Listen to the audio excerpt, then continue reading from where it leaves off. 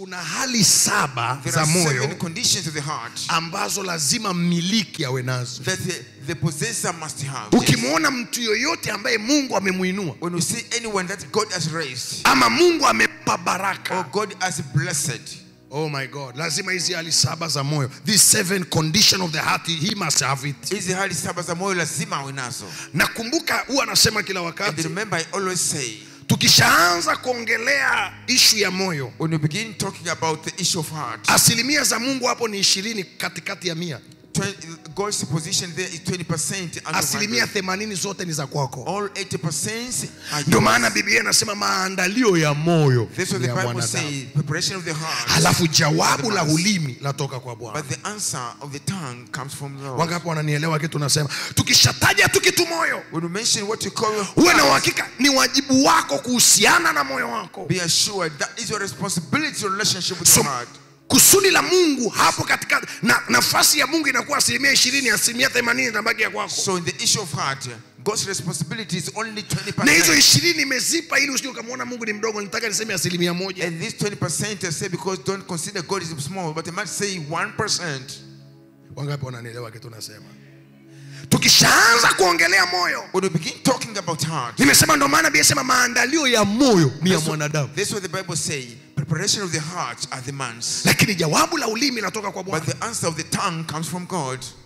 na ndio maana Biblia inasema linda sana moyo wako That's why the Bible say, kuliko vyote hajasema nitakusaidia kulinda. It did not say I will help you to keep your heart. anasema linda wewe mwenyewe. God say, keep your heart. moyo wako Keep your heart. kuliko vyote uvilindavyo. Than all the things you maana ndiko zitokapo chemichemi za uzima. Because that's where comes the founda- for the fountains of ukisema nimejeruhiwa sana If you say I'm so shida sio waliokujeruhi. The problem not the people hurt you. shida ni ya kwako. Ukisema amenivunja moyo sana If you say someone has broken my shida, heart, shida sio aliyekuvunja moyo. the problem shida ni ya kwako. Umeruhusu moyo wako kujeruhika. to be broken. umeruhusu moyo wako allowed your heart kuharibika. to be destroyed. ukisema wameniharibu moyo Oh, wangu they've destroyed my heart. nilikaa huko kwenye kanisa This kind of church. huyu mwanaume ameharibu moyo wangu. Moyo wangu. Unapotamka namna hiyo lazima ujue Shida sio ya aliyesababisha. Tunapozungumzia moyo. Talk about the heart. tunazungumzia wajibu uliopewa. Talking about your personal responsibility. personal. Mungu ameruhusu na ndio maana ingekuwa mungu anaingilia mioyo ya watu dunia nzima watu wangekuwa wameokoka wote If God intervened in the hearts of men, all the world, all people will be born again. ndio maana anasema tazama nasimama That's why mlangoni I say, Behold, I stand at the door. unafikiri mungu angekuwa anaingilia mioyo ya watu si watoto wangekuwa wanasema yesu ni bwana wote wangesema If God intervened in the heart of men, all lakini people anasema born again. nasimama anasema, nasimama mlangoni na But He says, I stand at the door mtu and knock. akinisikia If someone hears, atanifungulia mlango Maana mimi mungu huwa nataka niongee na mioyo ya watu that means I, God, want to huwa napisha kwenye mioyo ya watu. I watu normally knock on the yeyote atakayenisikia atakayenisikia akanikaribisha moyoni mwake. Ninaingia na kufanya makao ndani yake. Ikishasemwa moyo When I speak heart, kumbuka wajibu wako. kwa hiyo ukisema wamenijeruhi If you say someone has hurt me, oh my god jua shida sio waliokujeruhi tena achana na kwa sababu kuna watu wanaweza kukwaza hata wasijua wamekukwaza uh, people can offend you. yaani kuna watu yamkini umewabeba moyoni unafikiri ni maadui zako maskini ya mungu hata hawa- wao wenyewe wanakushangaa kwa nini uongei nao Some people carry in your heart think you are enemies. They don't know. Why don't you talk to them? wao wenyewe wanashangaa mbona siku hizi unanuna kama kitunguu maji is, they're surprised. Why do you make a long face today? wanasema huyu mtu vipi They say, This man, what's wrong?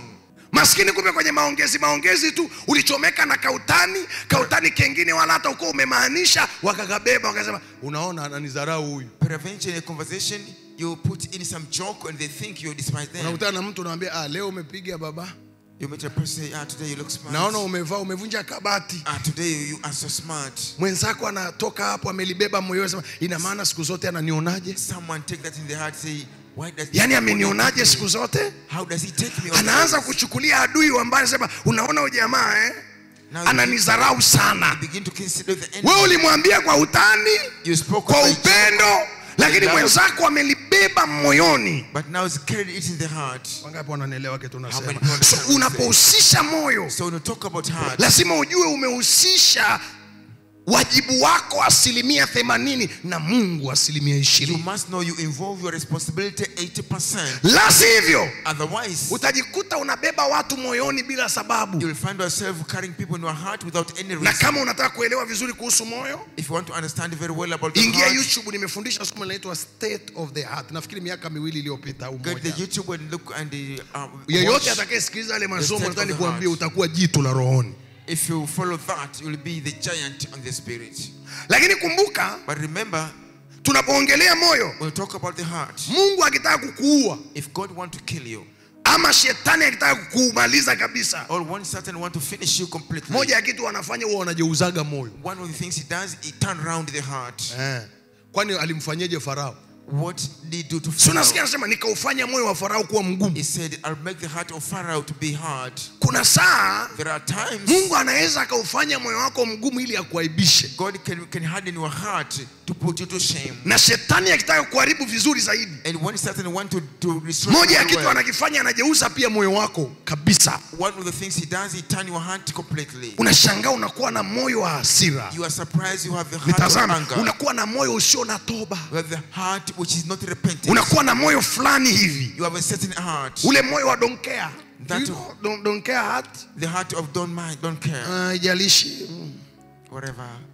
watu wakifika kiwango hicho ndo wanaweza wakasema When people come literally mention, they will say, nimeacha kanisa sijamwacha mungu I've stopped the church, but not God. mimi kila napokutana na mtu ambaye adui amemjeruhi Every time I meet a person, the enemy has, this. huwa anatafuta vitu viwili I normally advise them to haiwezekani watoto wa mungu shetani akatushinda kama vitu viwili havijahusika It's not possible for Satan to overcome us if not two things. moja ikiwa tumepoteza utii kwa mungu lazima shetani atushinde If one, we have lost obedience to God, Satan must overcome against us. shetani yuko makini sana kutafuta mlango wa- wewe kutokumtii mungu ili aharibu kazi yako Satan is very keen to search the door for you not to obey God. So that Lakini mbili.